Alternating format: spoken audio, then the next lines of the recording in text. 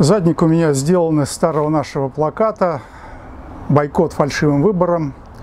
Выборы действительно приближаются, но сегодня тема особенная – 30 лет государственному перевороту, который надо правильно классифицировать.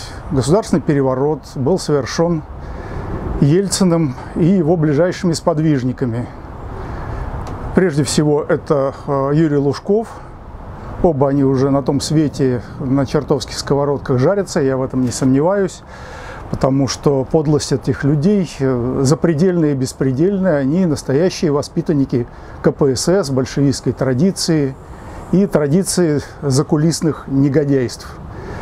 И самое большое их негодяйство было э, ликвидация единства нашей державы. Да, она тогда называлась СССР, но это была Россия с такой биркой наклеенной поверх. И мы это все знали, что это Россия, и хотели, чтобы бирка была сорвана, идеология КПСС отброшена, а не разорена и расчленена страна. И все прекрасно это понимали, ни в одной политической программе не было расчленения страны. Никто на выборах этого и не думал обещать, потому что его просто не выбрали бы, не ни на какую выборную должность, э, ни мэром, как говорила Попова, который очень активно также участвовал в разрушении нашей страны, э, ни депутатов Российской Федерации, тогда еще РСФСР. Никто бы за них не голосовал, если бы они обмолвились, что вообще-то они хотят единство государства разрушить, расчленить его, разделить на независимые государства. И в этом преступлении поучаствовали очень многие. Я бы сказал, что поучаствовали практически все. Это сейчас можно там списывать туда или туда. Э, вину распределять там и так далее. Но главные виновники, главный организатор это Ельцин, Лужков и третья фигура, которую я не могу назвать, не знаю ее точно, возможно это Филипп Бабков, но то, что в этом поучаствовало КГБ, я абсолютно не сомневаюсь, потому что эта структура создавалась для защиты, Комитет государственной безопасности, защиты государственности. Но именно государственность эта структура и разрушила, и на этом основательно поживилась. И у нас чекизм выхлестнулся и заполонил и политику, и экономику, и международные отношения. Все занято вот этими выкормышами передового отряда КПСС, то есть КГБ, ФСК, ФСБ. Они меняли личины, но все осталось прежним, как и было. Это э, самый бесстыдный, э, не основанный ни на каком законе большевизм, который опирается только исключительно на насилие, о чем писал их основоположник Владимир Ильич Ленин, и э, вот именно этим он числится великим, что э, чем больше истребишь людей, э, достойных, честных, тем лучше. Вот на этом и основан был большевизм, а то, что они решили разделить страну, это был второй раздел после большевистского переворота 17 года, когда, если вы помните, отпали многие западные области.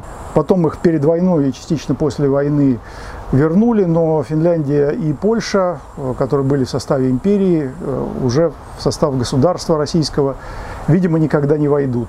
И вот то, что было державным строительством в течение столетий, просто так вот раздали.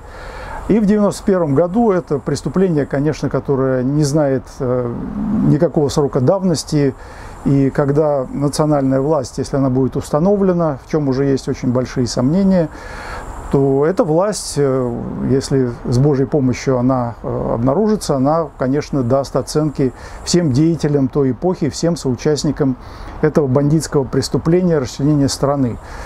А у нас э, две, две ветви в мозгах, такое расчленение мозгов э, на недействующей власти. С одной стороны, она признает, что вот как нехорошо, что страну разделили, с другой стороны, она прославляет всячески э, соучастников преступления.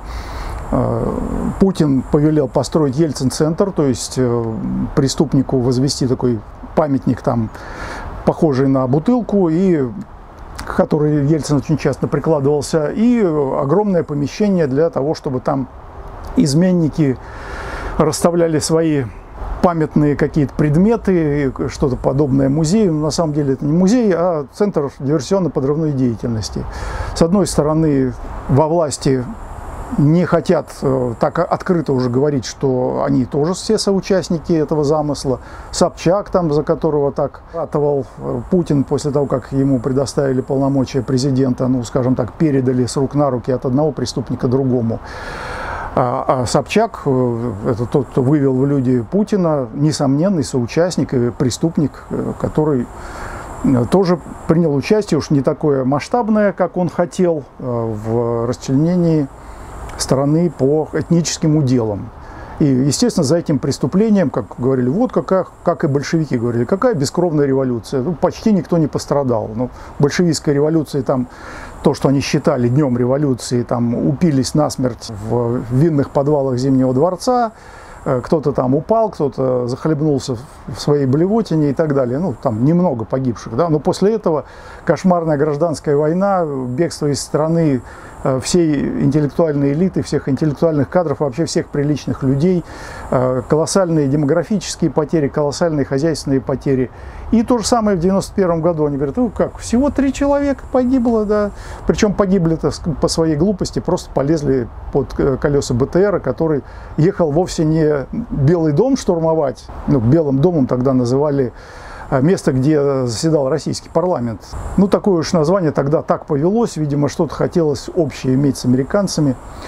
Э, я свидетель всего этого и участник этих событий. Э, я бы сказал так, что окончательный слом моих э, демократических иллюзий состоялся именно в эти дни, в дни государственного переворота, совершенного никаким не ГКЧП. ГКЧП находились в правом поле. Но они просто ничего не стали делать в этом правом поле. Они заявились, они обязаны были арестовать или просто расстрелять Ельцина. Лучше было бы сразу расстрелять. И, и чем больше перебили бы тех, кто с ним рядом находился, тем лучше сейчас бы их не было. Сейчас бы не было вот этой швали, которую э, Путин подобрал на ельцинской помойке. Они не сделали этого. Ни руководство КГБ, ни руководство армии, ни руководство государством. Там каких только военизированных или, точнее, вооруженных структур не было. Сколько там было всяких э, спецотделов э, и, всяких э, спецгруппировок, которые можно было использовать, ничего не стали делать. И я скажу, как участник этих событий и человек, который внимательно анализировал то, что происходило, что напрасно на Горбачева перекладывают всю вину. Вот Иуда предатель и так далее. Горбачев тоже не выполнил свои обязательства, которые, свои должностные обязанности, которые он имел на посту президента СССР. Он должен был вести чрезвычайное положение, арестовать всех зачинщиков, Лучше было сразу их расстрелять просто без суда и следствия. Он должен был это сделать. Но он этого не стал делать, потому что он сказал, я не могу, когда он узнал, что там в Беловежье совещается какая-то мразь, он должен был отдать приказ, и об этом в воспоминаниях э, участников событий тоже написано, его помощник об этом пишет. Он сказал, я не могу. Ну, то есть надо было отдать команду, там высадился бы боевой батальон ВДВ и всех бы поставил к стенке. Отдали бы приказ, они бы его выполнили. Вот. Но нет, вот он так, он так не мог. Но основная эта вина не на тех, кто допустил преступление, а на тех, кто его совершил. А совершили преступление те, кто сейчас правит. И поэтому мы ходили не только вот с этим плакатом «Бойкот фальшивым выборам», но и «Долой преступную власть». Я бы хотел спросить зрителей, а вы где были, когда мы с этим выходили неоднократно? А теперь, честно сказать, мне уже идти никуда и не хочется, потому что увидеть э, две сотни человек на русском марше, это как-то почесать в затылке и сказать, ну все, кончилась русская нация, кончилось русское движение. Вот, я бы не хотел в это верить, но пусть тогда, э, если есть люди, которые готовы выходить и сражаться за русские национальные интересы, пусть они как-то проявят себя, хоть как-то там выйдут на связь, скажут, да, мы вот тоже, мы тут собрались, мы там 100 человек приведем, один, другой, третий, такие группы соберут, и тогда имеет смысл. А вот так подставляться под репрессии и ну, фактически бандиты, вооруженные бандиты находятся у власти. Мы к чему-то там призываем, куда-то выходим, ставим на карту не только свою судьбу, но и свою жизнь. А э, те, кто считают себя русскими, оказываются абсолютно безучастными. Они говорят, ну, это, если бы вы восстание подняли, я бы туда пришел, попросил бы автомат. Ну, кто же тебе его даст, если э, ты не проверен даже в таком пустяке, там где-то выйти на митинг или на шествие, или просто начать работу, там, информационную работу в соцсетях, в какой-то единой корпорации и создавать информационные волны. Вы не хотите этого делать? Ну, тогда вот это 30-летнее предательство продолжается, и тогда вы просто невольно стоите на стороне того же Ельцина, уже скончавшегося, или Лужкова в Варюге, который там миллиардное состояние за год для своей жены сделал, а, или вот э, тех скрытых э, генералов КГБ, которые э, поучаствовали во всем этом безобразии и не арестовали Ельцина, да можно было и всех остальных, включая Горбачева и весь ГКЧП, арестовать. То есть, если бы действительно это был Комитет государственной безопасности. А это были люди, подготовленные совсем к другому. Они еще при Андропове начали эту подготовку э, к совершенно чуждым для нас процессам, процессам и тайно эти процессы подготовили и реализовали, и сейчас реализуют для себя Э, те последствия государственного переворота, которых состоялись, фактически уничтожили государство, уничтожили легальную власть. Поэтому и выборы абсолютно нелегитимны. Нет легитимной власти, которая могла бы эти выборы проводить. И то, что они проводятся, это очередное, очередной плевок как бы, в душу народа, который никогда не получит от этих выборов ничего. И вот однажды только было, когда там, Грудинин, где-то опираясь на коммунистов, где-то опираясь на национал-патриотов, вышел, но струсил и э, отбежал в сторону, а некоторые так и продолжили гундосить. Ну вот, вот, вот вы там с этими, с коммунистами. Да мы не были с коммунистами никогда. Мы попытались хотя бы вот локально прорвать информационную блокаду, что-то заявить по русскому вопросу. Ну, что-то удалось, но это настолько мелко, если бы был наш кандидат. А его нет и не будет, и не будет, мы не видим, потому что выбито вообще все, все, весь лидерский слой выбит, либо посажен в тюрьму, либо оклеветан, оскорблен клеветой тех, кто заявляет о том, что они русские, что они в русском движении, что они что-то там понимают. Ничего не понимают и, видимо, уже не поймут, где русские лидеры. Где русские лидеры? Это из молодняка кто-то поднимается? Нет, в 30 лет уже сложившийся лидер. Если нет, то значит это инфантил. И где эти вот 30-летние лидеры? Их э, не видно, и я не, не замечаю, чтобы они появились. А кто-то должен сломать этот режим, э, установившийся в результате государственного переворота. СССР это тоже был продукт государственного переворота, но там хотя бы государственность сохранили, а у нас ее нет. Нет публичной власти, все решается за кулисами, и никто не собирается советоваться с вами на выборах. Куда вы потащитесь на эти выборы?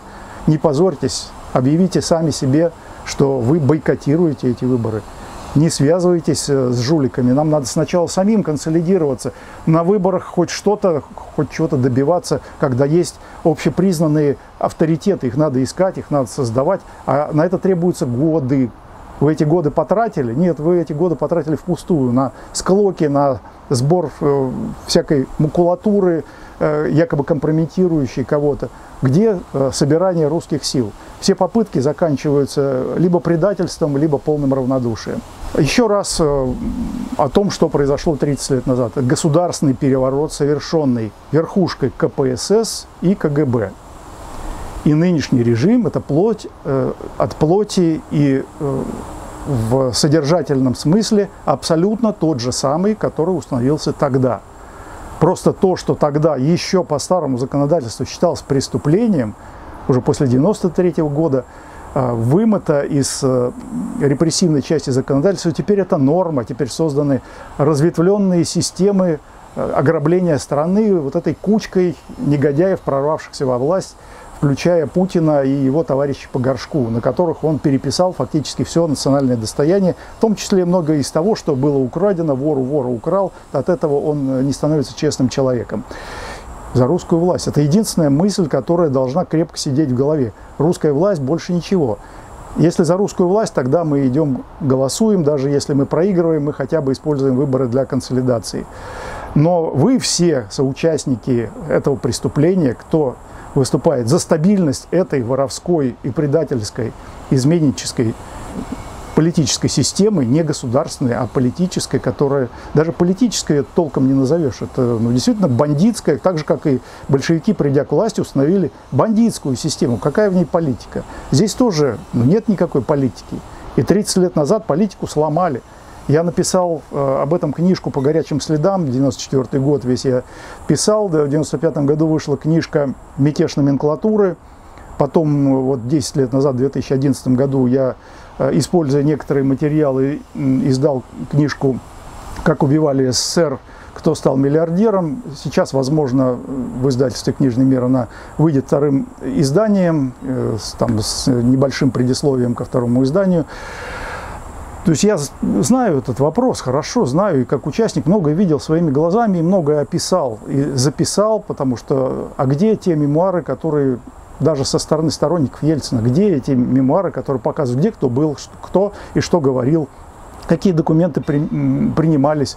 Ну, все это покрывается антиисторическим подходом, вот, кроме э, вот этого фетиша якобы коммунистической жизни в СССР, что все было прекрасно, и трава зеленее, и клубника краснее. Больше ничего не осталось и у, нынешней власти, кроме э, фетиша Великой Победы 1945 года, о которой правду стараются скрыть, ничего не осталось. И в голове у людей ничего не осталось. Они не хотят мыслить исторически, они не хотят знать, что, где, как и почему происходило. Пользуются всяк, всякой э, макулатурной продукцией.